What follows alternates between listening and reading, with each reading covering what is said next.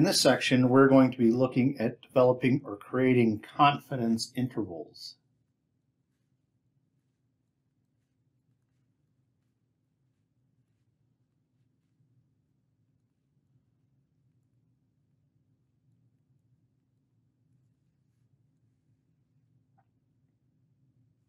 And they're going to look like this.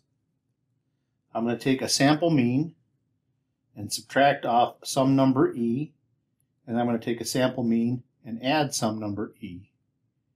e will be known as our error.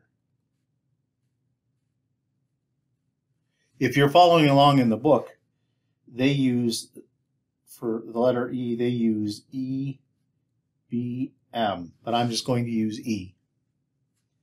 What this does is you're going to have an interval, not including the ends. I draw a real number line. The mean will be the center of that interval, and the endpoints will be the mean minus the error, and the other one will be the mean plus the error. So our goal is to create this thing, and it's going to be based on how much error we're going to permit. So let's start off with an easy example.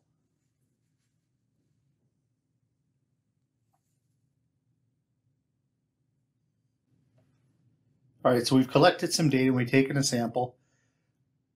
We know the sample mean, but we do not know the mean for the entire population. So we know the sample mean, which is here. That's always something you can get. And the sample mean will be used as a basis for us trying to estimate the mean itself. The error bound is this guy right here that goes by the letter E. So our confidence interval then is x bar minus E, x bar plus E, which will be 7 minus 2.5, 2, 7 plus 2.5. So we have 4.5 to 9.5. That's our confidence interval.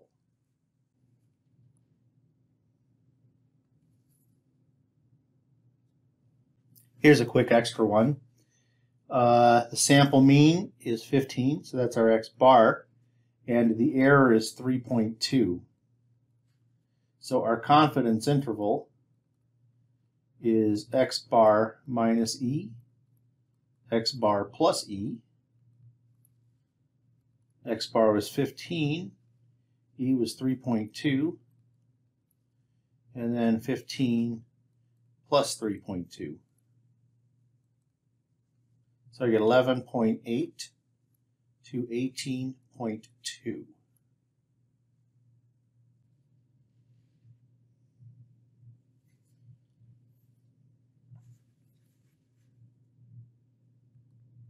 Now let's see how this relates to what we're actually doing in this class.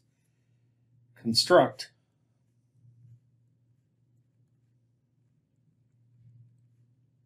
a 90% confidence interval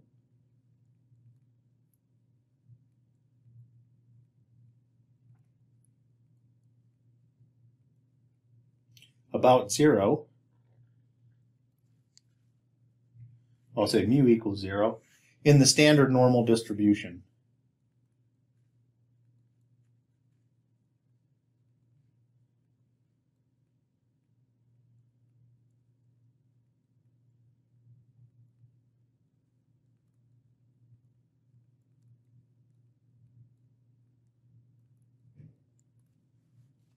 So what we do, let me get the graph of the standard normal distribution.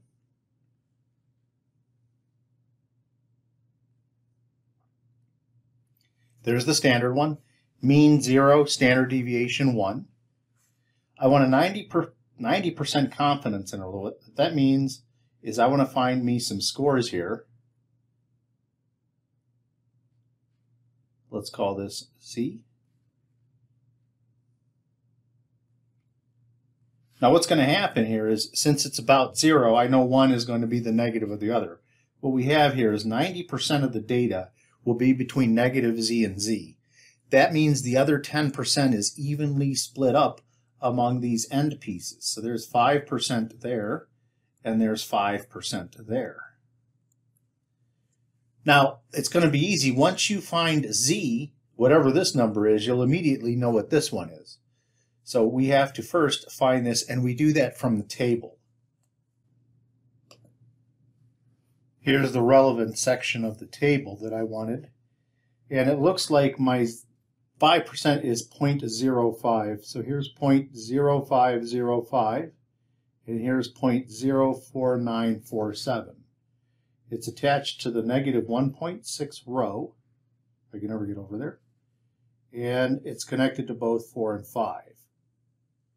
What I do is I take the midpoint of those two, and I'll do 0.045. So this z value is negative 1.645. Immediately, this one is 1.645. And so what I have is 90% of the data is captured between these two z values. So my confidence interval then here would equal negative 1.645 to 1.645.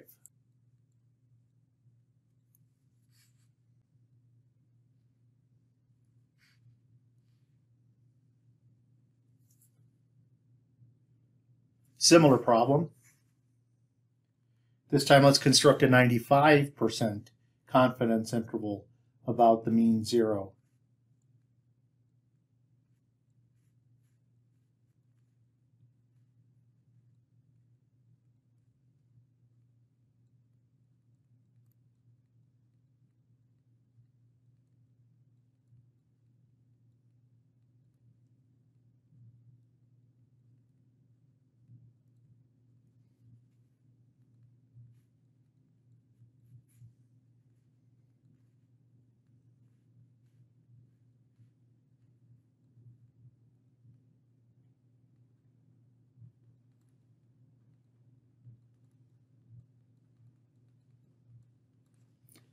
So now the picture is a little bit different. Here the middle part will be 95%. So I'll have as before, I'll have a negative z, and I will then have a positive z. At least it should have been there. And then in here I'll have 95% of the information or the data. That means out here I have to split those two up evenly into the 5% that's remaining. So 5 divided by 2 is 2.5. So here we have 2.5%, and here we have 2.5%. So I'll go and try to determine from the table what this value is over on the left, and that'll immediately give me the one on the right. Once again, I've brought up the relevant part of the table. I'm looking for 0.025 in this table, and a very unusual thing has occurred here. It's actually listed there. So I don't have to go between two values or anything. This is one of these really, really, really strange and wonderful values that are available without doing any kind of interpolation. So we have our confidence interval then is going to be from negative 1.96 to 1.96. Notice to be confident, we need more data. So you can see this confidence interval is bigger than that one.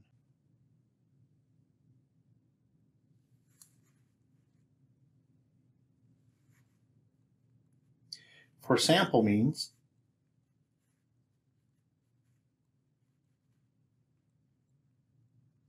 of sample size n,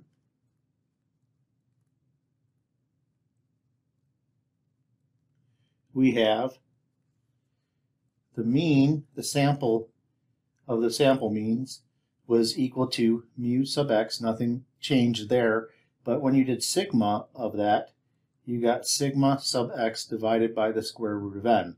So we'll make use of these because what we're going to try to ultimately do is determine the size of n to achieve a certain kind of error that we want.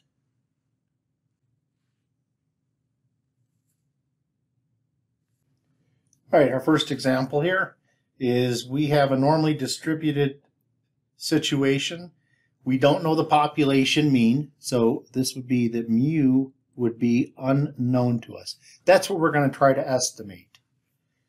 Uh, population standard deviation we do know, which that is unusual. Uh, many times you don't have that information, but they give us q sub x is equal to 6. And then we have a random sample of 28 pizza delivery drivers. That'll be our letter N. And the sample mean of 36 minutes. So let's go ahead and take a look at what we what we're trying to figure out. I mean, a picture. Let me get a picture of the situation. I think here, our situation here, we have our sample mean was 36, so we're going to put it at the, the center of our interval that we're going to try to find. Now let me go to the left and to the right. So I'm going to try to find, these would be the ends of the interval. So this would be like the first x1, x2, and these are actually means. Remember, that's what we're working with here. Now, they said a 90% confidence interval, so they're talking about this region in here is 90%. As before, then that leaves us with 5% out here and 5% out here. So make yourself a normal curve, standard normal curve, and then we have a negative z, and then we have a positive z. Here's our 90%, and here's our 5% here, and the 5% here. We found these z's in the previous problem. It was the first one I did of these kind here. In fact, I just passed it. It doesn't want to come down. Negative 1.645 and positive 1.645.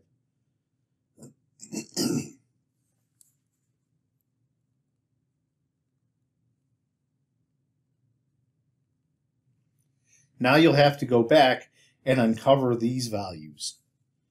So we have, let me go and do the negative version, z equals negative 1.645.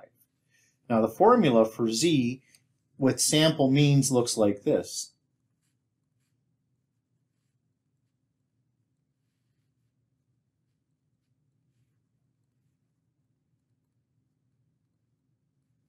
Let me go ahead and put my numbers in.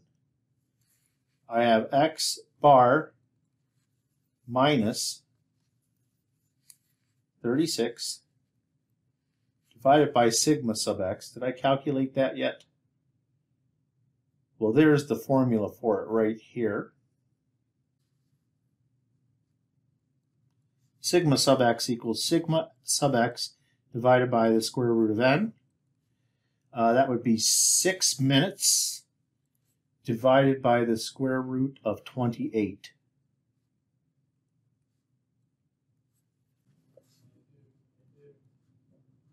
This is what I get to five decimal places.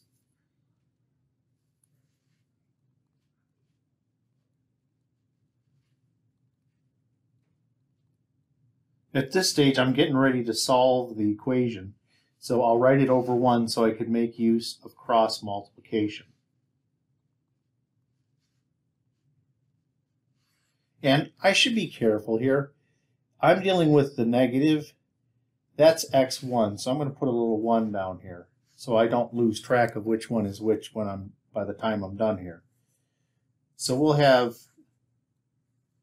negative 1.645 times 1.13389.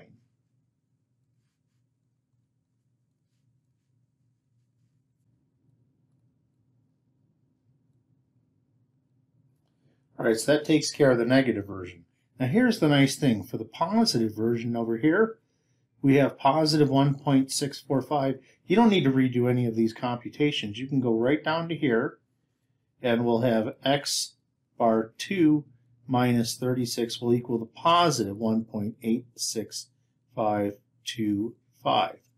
And then in each of these, you'll simply add 36 to get your final answer. This one here I can do without the aid of a calculator.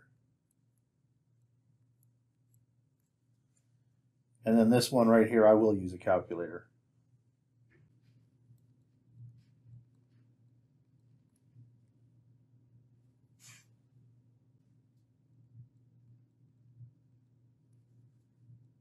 So my confidence interval then will be 30, oh, I put a 1 there, that's a 4, 34.13475 up to 37.86525. This was a 90% confidence interval. What that means is this interval that we've constructed, we are 90% positive that the population mean is in that interval.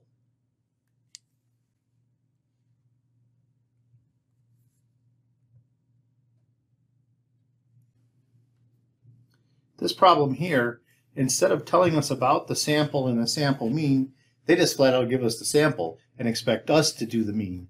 We do know the standard deviation, though, of the population, but we will not know the mean of the population. That's what we're trying to estimate.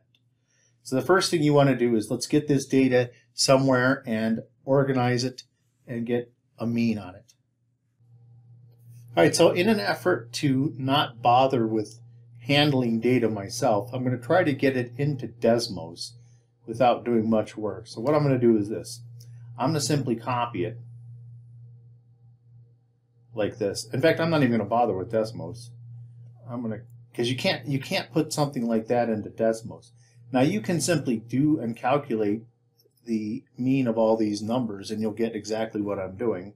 But I am showing you something that you may find desirable to do. Let me pull up Excel, which is the one that we're using here. This is very interesting what it lets you do. So I can just paste it, right? And you can see, I'm going to make the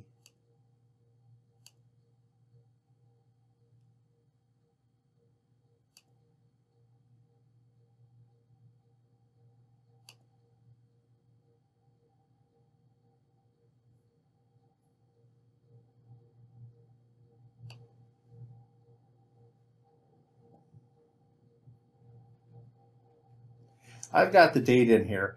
I don't really care about the, the numbers, or I mean the, the words or anything. So what I'm going to do is copy this. This column is really all that I wanted. Copy it. I'm going to put it at the end of the other one. So I'm going to put it over here. Now all you want to do, this is column D. Column D starts at number 1 and it ends at 20. So what a command you can type to find the mean of this is equals A-V-E-R-A-G-E and type D1, that's the top of the list, full colon D20, that's the bottom of the list, and it's highlighted when you do that, and just hit enter, and there's your number, 0.94005.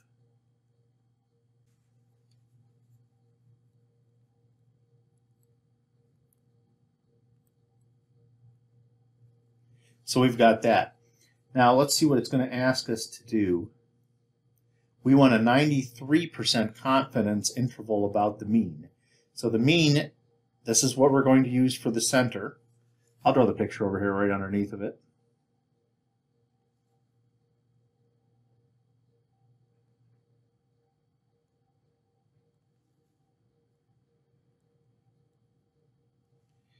And we're going to look for something here. We'll call it x1 bar. Now these are always symmetric about the mean. And then we'll have an x2 bar. And inside of here is 93%. That means I've got to split 7% up into those outer regions. 7 divided by 2 is 3.5%.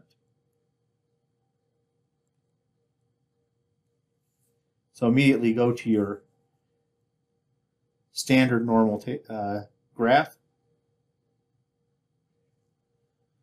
Put a zero here. negative z, positive z, 3.5%, and we'll go to the table. Here's the relevant part of the table. I'm looking for 0.035.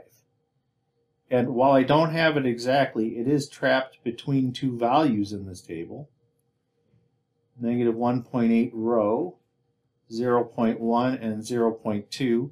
So I usually go 0.1, 0.015. So I cut those in half. And so this one over here is negative 1.815. That makes this positive 1.815.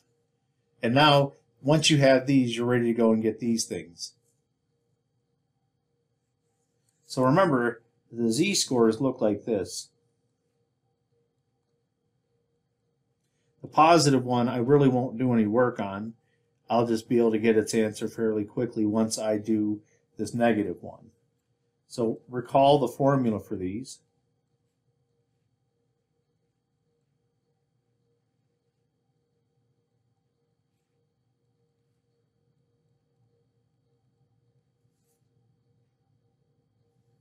So we're trying to figure out, in fact, in this case, it was x1 because we're dealing with the left one.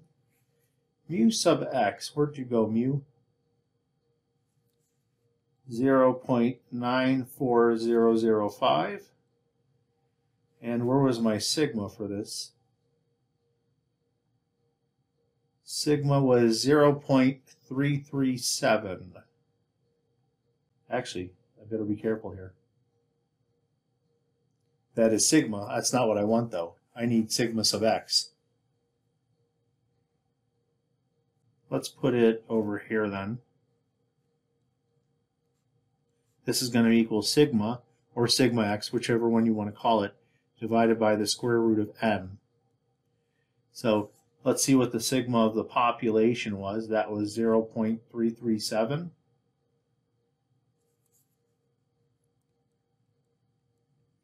and then the square root.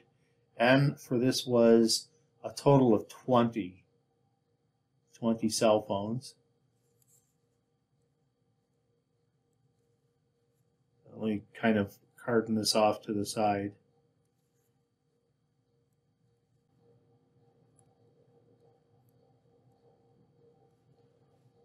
So that's to five decimal places.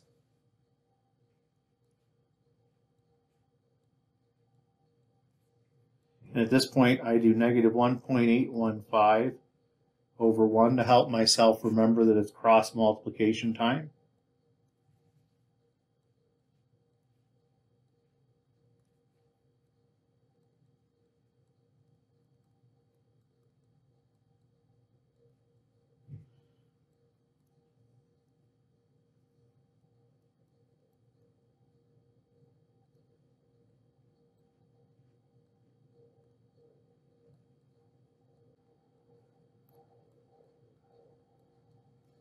Once you got that number locked in, you can come down here and get uh, x2 bar minus 0.94005 equals the positive version of that.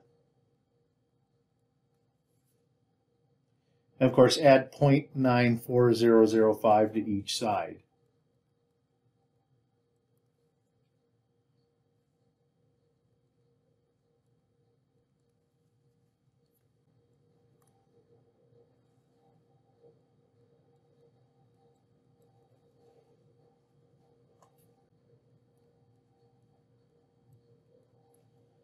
And so I got the endpoints for my confidence interval. 0.80327 to 1.07683. We are 93% confident that the population mean is in between these two values.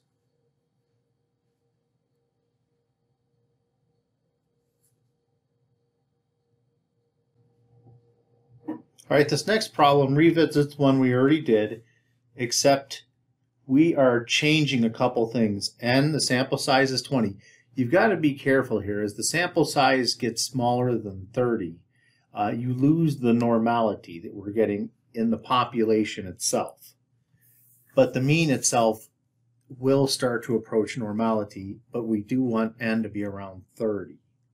So let's find out what we have here. The population standard deviation, we can call this sigma sub x, and the sample mean delivery time is 36 minutes, so that is x with a bar. A sample size is 20. There is our n, and we want a 95% confidence interval. Now, I put the old information here. Here's the previous one. It's actually, I don't think I need anything here. They changed the n on us, so I'm just going to delete that. I don't even need that anymore. And let's go and get the things that we need. When you do mu sub x here, we don't know that we will use x bar in its place. Sigma sub x bar equals sigma sub x divided by the square root of n. So that's 6 divided by the square root of 20.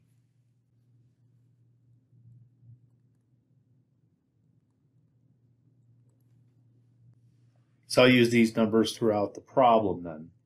So we're constructing a 95% confidence interval about the mean of 36. What does that mean? We're going to have the lower estimate, and let's call this one the upper estimate of the mean. That'll be number 2. Since we want 95% in here, you only have 5% to divide among these things. So 2.5% goes into each of those. And now let me go to the standard normal curve. The way this is going to look is very similar. You'll be about zero. You'll have a negative z. And you'll have a positive z. In between these z values, you'll have 90 95% of the data.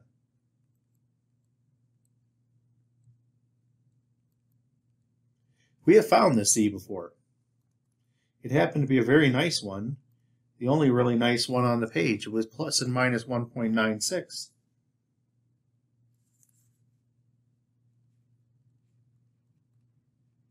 At this stage, I'll replace Z with its values.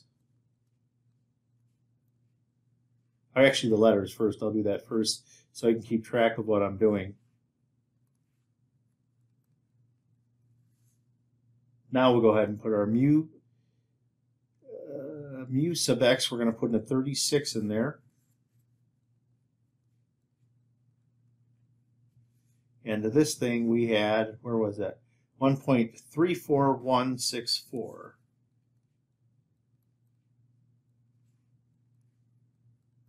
And at this stage, you're going to want to put that over 1, cross multiply.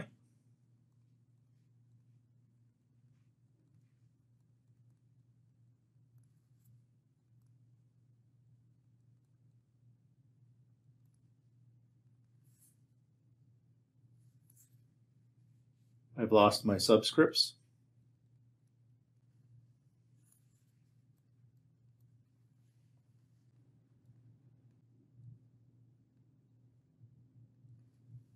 And at this stage, we'll have the z equal 1 positive 1.96 come to the party.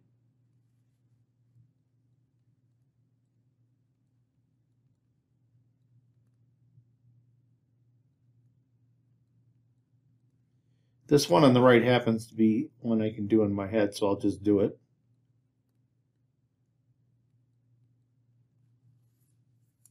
And then this one, I'll use my calculator for it.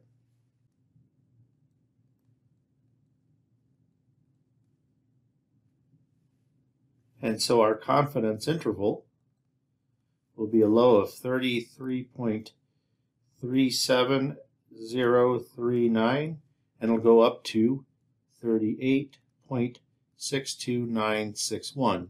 And as I said before, we are, in this case, 95% confident that the population mean is in that interval.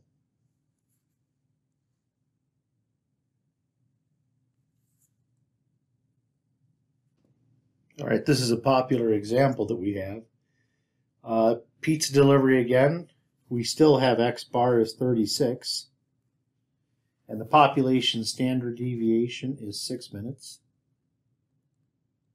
That's correct to write that. And so is that, just so you know. Assume that the sample size is changed to 50. So there's going to be n. And we want a 90% confidence interval. So what's going to change here is since we're using a larger sample size, the numbers will come out different. So this is the same as before. We have a 36 here. We have x1 bar here. And x2 bar here. 90% is inside of here, so that must leave 5% for each of these.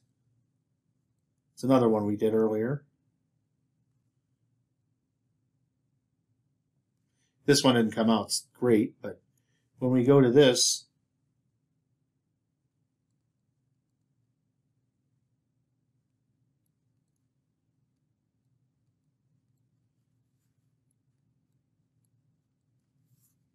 what we found earlier was this side was negative 1.645 and this one was positive 1.645. So I'll work the two z values. z equals negative 1.645 and then z equals positive 1.645. Let me replace z with the formula.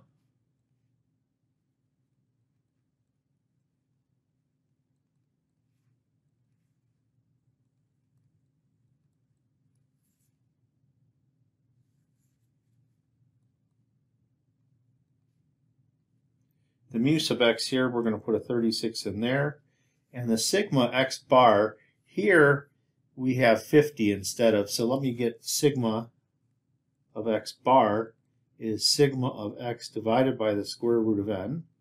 So we're going to have 6 divided by the square root of 50. Let me get that number.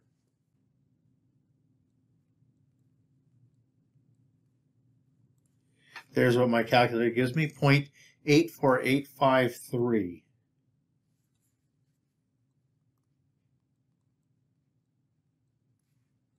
And this is when I insert the 1 underneath of the other side. Cross multiply.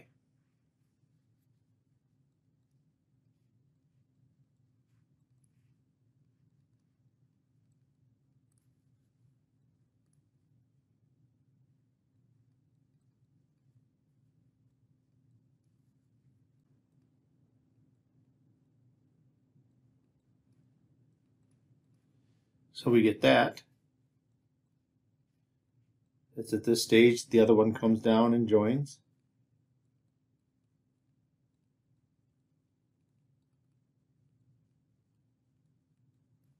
And now add 36 to both sides.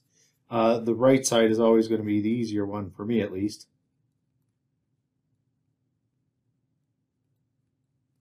And the left side, I'll have to use the calculator.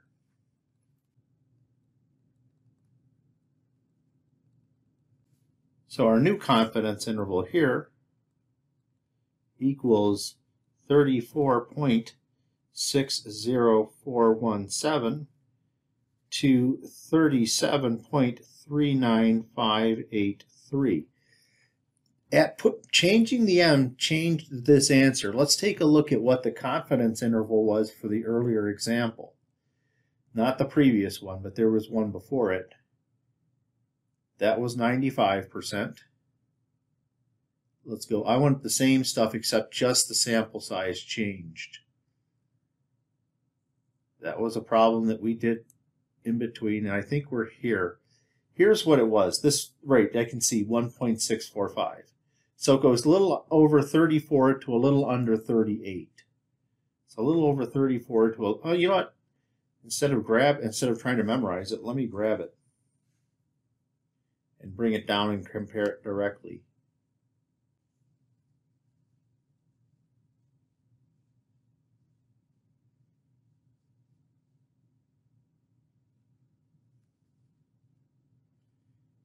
What it did here is you can see that this interval is smaller than the previous one. That means we got a better estimate with larger sample size, and that shouldn't be a surprise to anybody.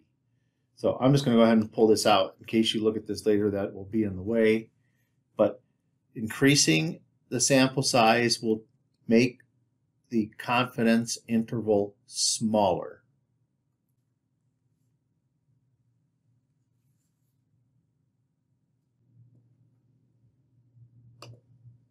Here's an interesting problem.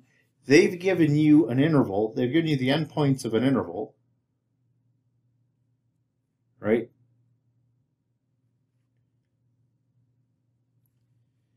And here is 42.12 and 47.88.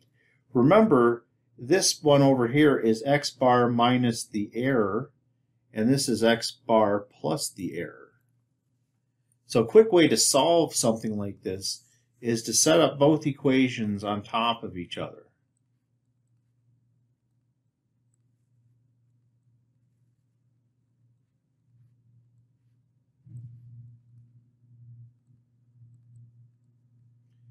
You may or may not have done these before, but if you add these two equations together, here's what you get.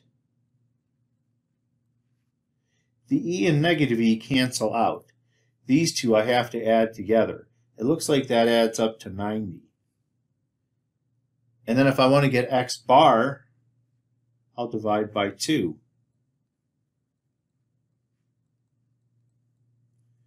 So there's the mean, the sample mean. It was one of the questions they have. How do you get E? Well, you can take either one of these equations. Now that I know, let's do uh, x bar plus E equals 47.88. And now that I know what X bar is,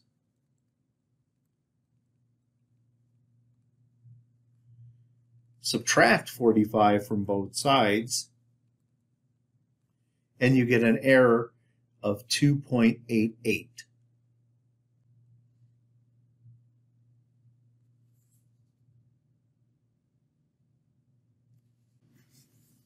In the previous problems, we solved something like this.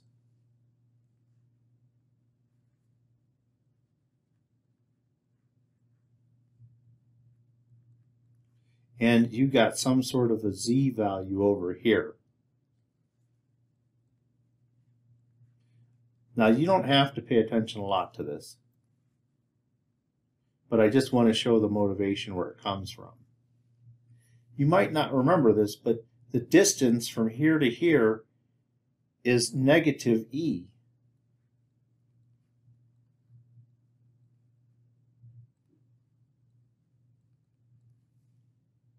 Similarly, we had another equation over here, x bar minus mu sub x bar was equal to z times sigma x bar. Let me change these. The smaller one and the larger one. Here then we have E equals Z times sigma x bar. So this is a formula for the error. We're going to use that in the next example. So write this down. You want the positive z value. That's why this is the one you want, because error is never negative. And then the sigma of x bar. Let's go and find that next example.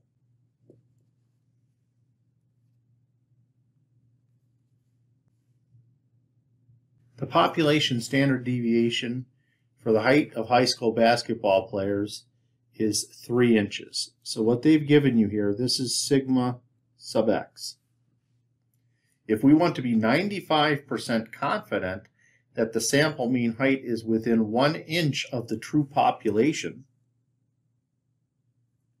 they're telling you is that the error is equal to 1 inch.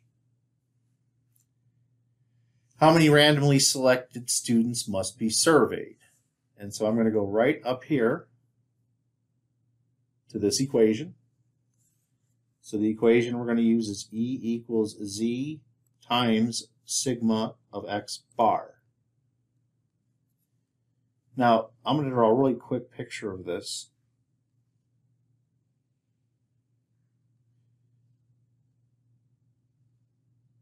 You might remember that when we just had 2.5% in here,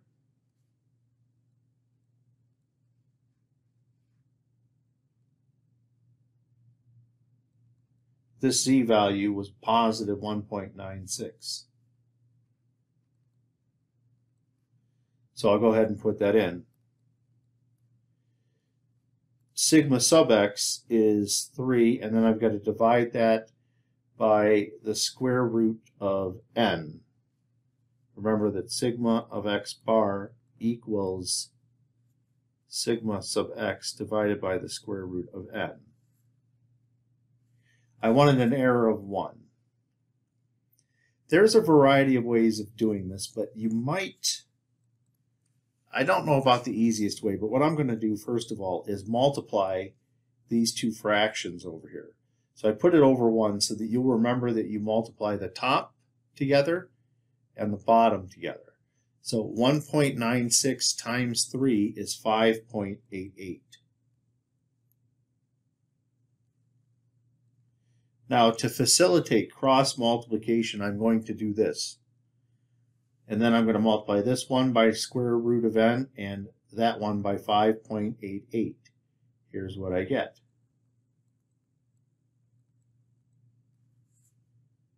To solve this equation, you want to undo the square root. You undo a square root by squaring both sides. Now over here, you don't have to be very accurate at all. n has to be a whole number. And so what this is giving you is, this is the least n can possibly be for this thing to work out. So if I chose n equals 34, it wouldn't get the job done. It's just not good enough. So what I can do to make sure that the job is right, we round up to 35. And so that's the sample sizes you want to achieve the error of plus or minus 1. So we, we could look at 3 plus or minus 1 inches contains 95% of the data.